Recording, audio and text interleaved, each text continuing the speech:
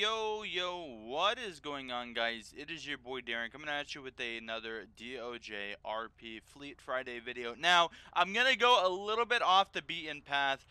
This is the new San Andreas Highway Patrol fleet. I know you guys saw me stream this yesterday, but I'm going to go more into detail. You guys were asking me in the stream and everything like that to go over all the new stuff that the vehicle has and everything like that, do do a close up. And I'm like, no, no, no. I, I, I had to hold myself back because we were going to be doing the Fleet Friday the very next day, which is today. But first, before I go over any of that stuff, I'm going to go over our new uniform as well because you might see that this uniform is green. You guys are not used to that, I am sure.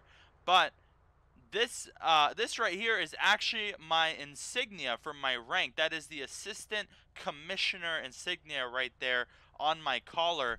And if I go through player appearance, ped customization, I can change it. So that is the chief, highway chief, and that is the highway assistant chief. Then we're going to go to our captain uniform and just our regular patrol uniform. And then we have, obviously, here is the lieutenant, the commissioner with those three stars. I don't know if you guys can see that right there. The assistant commissioner, and then, sorry, the deputy commissioner, and then this is the assistant commissioner, chief, assistant chief, and then it goes to green, which is captain, commissioner, deputy commissioner, assistant commissioner, chief, and assistant chief. So that's going to be all of those. Going into the shirt accessories, we have a new vest, a new tactical vest, and then we have this as well which says SAHP on the back, and then if we press enter one more time, it says SAHP Special Operations. I don't know if you guys can see that, but just trust me, it says Special Operations on there, so super, super cool. This creates the drop-like holster, and then badges and logos is going to change whether or not, you know, if we have, if we have this, um, we would have this one instead, and then that's going to be our corporal logo, sergeant logo, and then regular like that. So super, super cool. We have all the glasses, but I'm not going to go too much into that. We also have badges and stuff like that that I'm not going to go too much into. But uh, we also we also have all this stuff as as well um, going on here, and you can see some stuff changing. But Anyways, without further ado, let's get to why you guys clicked on this video. I know why you guys clicked on this video. You guys know why you clicked on this video. So let's just get straight into it. And actually, I think funny enough, I land on my name. Oh, no, actually, that says Devon. Well, I'm Devon for this video. I'm just kidding. I'm not Devon. But let's go straight into it. Today, I'm going to be showing you guys the 2016 and 2011 and 11 Crown Victoria. Boom! For the San Andreas Highway Patrol, right off the bat, we can see some wig-wagging headlights right here from the 16 Charger. Let's get that close-up look. Man, this looks absolutely beautiful. Beautiful. The attention to detail is just incredible in this vehicle. I absolutely love it. Safety, service, and security as we walk around the back here. Going on to the Crown Victoria again, we see that attention to detail. Just everything looks so clean, so slick. Everything just flows so nicely. Everything is at the highest of quality when it comes to this vehicle's made as close as possible to the real life San Andreas to the real life California Highway Patrol as we could get spent over a little close to a month continuously working on these vehicles. I mean, the developer put so much time and effort into these cars and they look absolutely amazing and it shows. Just everything looks so beautiful all the way down to the lights. So, let's go ahead and back out of this. Let me just check real quick, make sure I gave you guys the right year for the Charger. And yes, I did. 2011 CVPI. So we're to go ahead. If you guys don't know how this works, what we're to do is we're to jump in the video, jump in the vehicle, do a walk around of it, show you uh, show you guys all the cool little quirks and features that it has to offer and give a little bit of an explanation for each car. So right off the bat, we're to go ahead and open up all these doors. And let's go ahead and step out. That's fine. We can look at the uh, prisoner bay from the back. Coming around from the front, the engine looks beautiful. I mean, it is just everything just looks so good. We're going to start with the Setina push bar with the two, I believe these are federal signal lights on the push bar coming around to the, uh, including on the side. These are some ions right here and coming around. Same thing on this side for that intersection lighting. And of course, that wig-wagging effect in the uh, headlights coming around we see that typical CHP lighting pattern with the red steady burn in the center. We can see that spotlight in the radar system right there. Now something you'll see is removed from this version that was in the last one is we no longer have mirror lighting and that's because the CHP do not use lights on their mirror. Coming in to the actual driver side we can see that uh, that MDT right there is a little bit different than what we're used to. We're used to seeing those Panasonic Toughbooks. That's not what we have here. We have something uh, something different, and this is actually what the CHP uses as their mobile data uh, terminal or MDT uh, abbreviated. There you can see the developer of these vehicles in the center console. His name is Rapsy. Again, he spent so much time on these cars. The attention to detail, the stitching, the lines. I mean, I've been in my fair share of Chargers in real life, and I can tell you this is what they look like. It is a beautiful, beautiful looking car. The only thing from being in a Charger that I notice that is not realistic to what a Charger actually looks like in the inside is a Charger does not have its gear shift on the steering wheel. It has it on the center console. Other than that, this vehicle is about as spot on as it can get. Moving along to the back into the trunk. Let's go ahead and get stood up. Our trunk is empty, but again, you can still see the stitching, the, the carpet texturing in the trunk.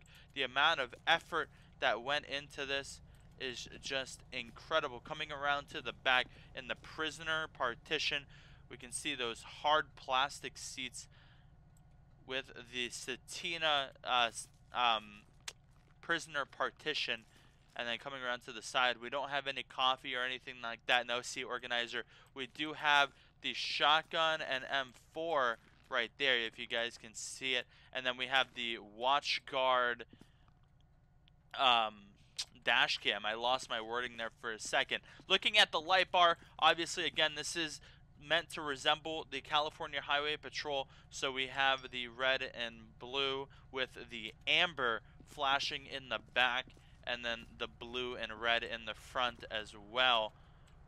And then we're going to get up on top. We can see those we can see the unit numbers. Let's go ahead and stand up on top of the car if we can. No, it doesn't look like we're going to be able to, but you can see that 520, that's going to be your patrolling district. So, and we'll get into that in a second. Let's go ahead and close everything up. Trunk, hood, uh, these doors closed, front left and front right. And that is going to be it for the exterior of the vehicle. Let's turn off the hazards so we can actually see, do a uh, spin around of the vehicle real quick just so you guys can get one final look from a third person camera angle. Now, going in to the. Starting off in the liveries, we have livery number one, which is going to be your standard California Highway, or sorry, San Andreas Highway Patrol. I, I keep wanting to call it California Highway Patrol because they just look so close, resemble so closely to the California Highway Patrol. Livery number one is going to be the 520 livery, black and white. Livery number two is going to be the 530 livery, black and white. Livery three, 540. And livery number four is going to be the 510. Now, 5, 510 stands for the supervisors of the San Andreas Highway Patrol. So if you see 510 on the roof of the car, and I mean, it's just glowing, just glowing. It's so beautiful. The 510 is means supervisor for the San Andreas Highway Patrol. So if you see one of these Chargers or any of these cars rolling around and they have a 510 on top of them, uh, that is because that is a supervisor driving that car. And then, of course, we have the unmarked livery going on right here. Livery number zero is going to be the supervisor livery, but in black and white. So um, you you have a supervisor, you have a vehicle with supervisor numbers in in Snowball, which is our more traditional kind of everybody in San Andreas Highway Patrol and in the community knows Snowball means supervisor, but then you also have the supervisor numbers on a black and white. So now, what does 520 and 530 and 540 mean? That is a uh, a style of um, that is your patrolling district. So they all represent a different district that you could be patrolling. Going on to the extras, let's go ahead and turn everything off and go through them one at a time. So, doing a spin around of the vehicle real quick, we can see that without any extras on, that there is no, that the only thing flashing is these wigwags right here. We don't have anything flashing going on right here. No red and blues, nothing. So, livery extra number one is going to be the light bar for the Charger. Extra number two is going to be the rear lighting. This is going to be what you would use if you were in slick top mode, which brings us on to extra number three, which is going to be your red and blue light. So let's go ahead and turn off the spotlight now, the red and blue again is is uh, brought to um, resemble the California Highway Patrol as closely as possible. I'll put a picture up on the screen right now of the California Highway Patrol Charger so that you guys can look and resemble it to this one from this kind of angle right here. Going on to extra number four, that's going to be the push bar for the charger. And then extra number 8 is going to add some antennas. And extra number 12 is going to add the spotlight right here to the front. And that is going to be it for the 2016 Charger for the San Andreas Highway Patrol. Now, this vehicle is unlocked at the rank of Trooper First Class. It is an absolutely beautiful vehicle. Um, just looks amazing. We're gonna, but we're gonna have the mechanic take it to the back. We still have that, the Devon badge uh, on our shirt. Let's go ahead and take out the Crown Vic and see what this one has to offer as well. Going on, gonna go straight into it. We're gonna go straight into the liveries. Livery number one is gonna be the 520. 530 and 540 so that's 2 through 3 livery number 4 is actually to be something that's different for this vehicle that the Charger does not have this is to be our K9 unit. So we, we see the K9 and then the stay back right there. You can see one of our other troopers uh, pulling in to start his shift. And then safety service and security. So this is going to be what the K9 units would use right here. And looks Oh man, it's just a beautiful, beautiful looking vehicle. Extra number five is going to be again that 510 on the top, the Snowball Crown Victoria. We can see that the uh, Setina push bar here with those uh, federal federal signal lightings on the push bar itself, and then you can see the mirror lights right there. The Crown Vics do use mirror lights in the CHP, and then obviously our CHP light bar in the back with no wigwags. There are no wigwags on this vehicle, and then we can see all those antennas just littering the top of that car. Uh, we were not done with the liveries. Going on to number six is going to be our unmarked variant for this vehicle. Going on to number zero is going to be our black and white but supervisor, so 510, and that is going to complete it for the liveries for this vehicle. Again, a beautiful, beautiful looking car. Let's turn everything off and see what we're working with with nothing on it. Now, with nothing on the vehicle, the only thing we have is that red flashing pattern on the mirrors. Nothing else is flashing. Nothing else is working for us. Extra number one is going to add us that light bar, but we're going to take it away for the purposes of this video. Extra number two is actually going to add this ram bar right here with our siren. You can see that back and forth, giving us some intersection lighting as well if we look at it from this side right here. Extra number three, we're going to swing around to the back, is going to be our light bar in the back. Again, very sleek, very nice looking. And then number four is going to be our uh, red and blue uh, window pod right there. Going on to extra number five, that's going to add some antennas to the top. And extra number eight is going to add an additional antenna right there. Going on to number 12, this is going to be our spotlight. So that's going to be the spotlight for this vehicle. Now, the only thing that this vehicle can't do is the license plate cannot change, but that is coming at a later version of this vehicle. Yes, that's right, I said it, that these vehicles, as amazing as they are, are not even done. Let's continue on and do the walk around of the outside of this vehicle. Now, while I'm getting ready to do the walk around of this vehicle, let me go ahead and say that this vehicle is unlocked at the rank of Chief Master Trooper. So you go Probationary Trooper, Trooper, Trooper First Class, Senior Trooper, Master Trooper, and then Trooper First Class. So going around to the front, let's look at the engine bay. Very, very detailed, extremely detailed. Actually, more detailed than we're used to seeing going around to the side. Again, we have that uh, that WatchGuard uh, dash cam right there. I keep forgetting the wording for this uh, for it. We have the developer right there in the center console, Rapsy. We can see our our uh, our light control system and our radio control system going on right there. And then I believe, actually, does this not have? Oh, it does. You can see back there kind of tucked away the shotgun and the M4 coming around to the back, we can see that Setina prisoner partition, uh, which that doesn't actually look like hard plastic. That looks like some kind of fabric.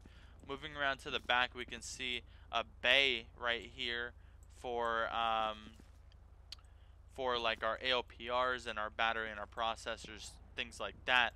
We'll go back there, and again, the attention to detail in the trunk coming around to the side uh, nothing going on here as far as no coffee or anything like that, no seat organizer or anything of that sort.